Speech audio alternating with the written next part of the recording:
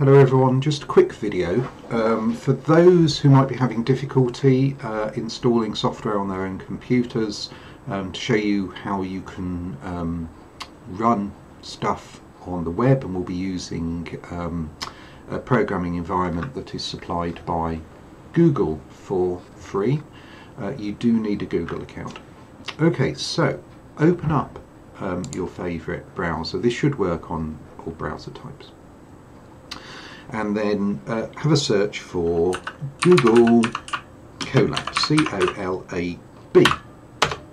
And that should be the, the top one, go colab.research.google.com. You may need to have signed into Google at this point, uh, or it might prompt you at this point to sign into your, your Google account. Okay, we'll do two things. We'll start with a blank notebook and we will then also upload a notebook from the HSMA course. So, new notebook uh, in this rather messy introductory um, uh, slide here. And this is essentially a Jupyter notebook um, that's, that's running on Google's um. Uh, it creates it fresh in memory and then it will destroy it when, when you leave. So it starts with an empty what we call cell here and I can do the normal essential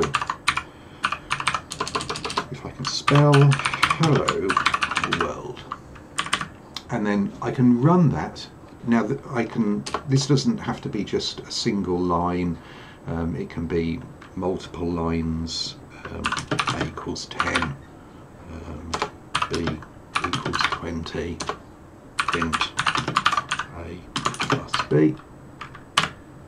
Um, just to show you can you do a whole program in one cell if you want. And then I'm going to click run cell or you can see it also says control enter will will do it as well which is normally a bit faster to rather than moving mouse. Now the first time it runs, um, the notebook runs, it'll be a little bit slow to get set up like, like there, but it's done that now.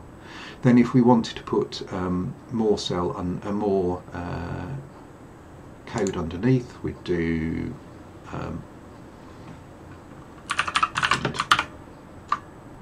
let's do, uh, I don't know, 10 to the power of 5 just anything really. And then I'll do Shift Enter and you get the answer. Okay, so that's uh, a Google Colab working, uh, Google Colab notebook working. If we wanted to save that, we do File, and then you want to, rather than save, which sort of saves it locally on the Google server, which will then be lost when it all closes down, do a download. You can download as a notebook, IPython uh, notebook, or download the um, equivalent .py file, .py file. Okay, so that's working uh, with a new notebook. Oh, I'll just say, show you one more thing in that um, you can pip install um,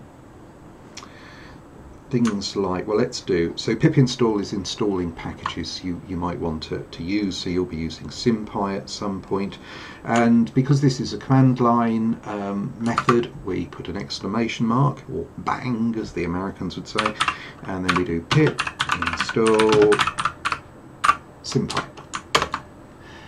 And you would put all your pip installs for packages that aren't part of the normal Google um, Colab environment, and it does contain an awful lot of things, but not SymPy. You'd put those pip installs as part of the notebook. So each time you set up Google Colab, it will go down and collect the um, um, uh, the packages. So import SymPy should now not give us an error. Okay, so that's installed. Okay, so that's um, running with a clean notebook, new. Let's open a notebook um, that's been provided, say for HSMA, and we do file, and it's upload if it's if it's locally. Um, so I'm going to, or if you've saved it in Google Drive, you can do file lo locate in Drive. But if you've downloaded Dan's notebooks, then we upload a notebook and it'll ask us uh, where to go. Click on choose file, and this has just come up with the location uh, where. So I saved um,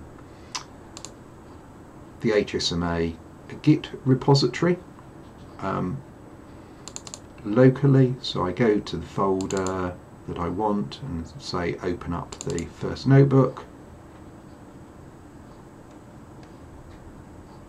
And there it is.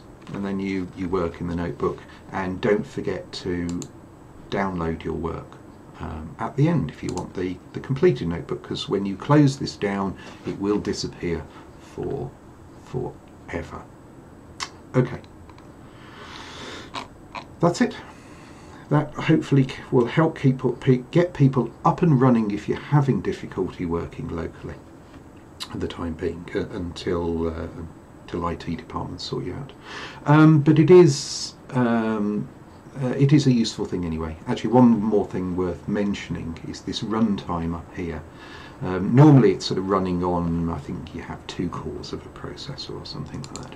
You can change runtime type and just so you know this is here, change it to GPU for when we get onto neural networks. They can be best run on Google Colab if you don't have a GPU, which is something in your computer that does processing of huge numbers, sets of numbers at one time. Do it on Google Colab, you have access to a free GPU by changing the runtime type um, and then you're running on a GPU. It's a, it's a nice resource which at least for the time being is free. Um, okay, uh, that's it. See you soon.